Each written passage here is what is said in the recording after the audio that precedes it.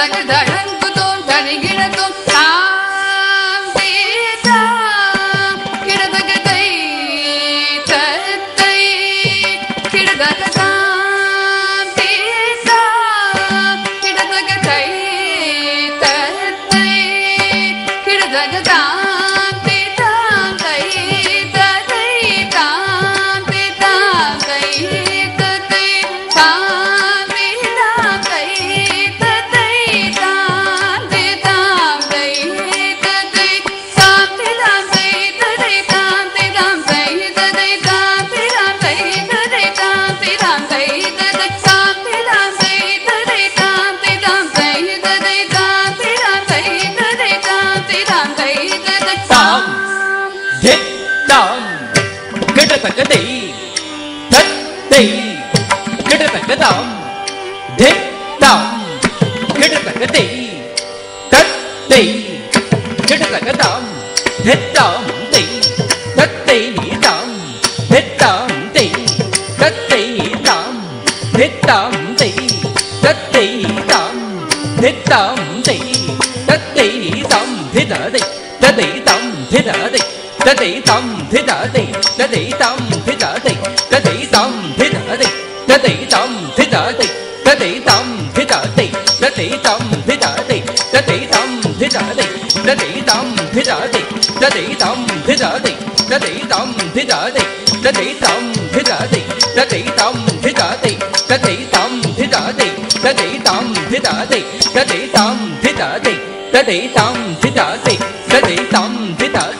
तथे तां धिताते तथे तां धिताते तथे तां तिताते तथे तां धिताते तथे तां धिदाते तथे ता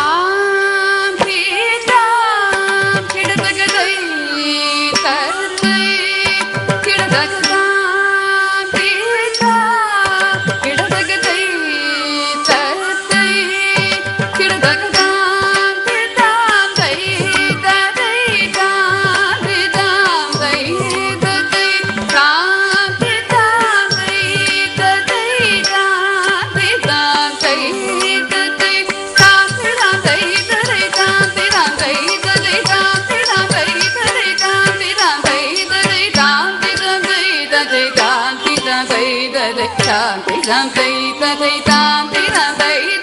தாம் தீதாம் தை ததை தாம் தீதாம் தை ததை தாம் தீதாம் தை ததை தாம் தீதாம் தை ததை தாம் தீதாம் தை ததை தாம் தீதாம் தை ததை தாம் தீதாம் தை ததை தாம் தீதாம் தை ததை தாம் தஜம் தரிதம் ஜம் தரி ஜக தரி தை தனி கிடதும் தக தரி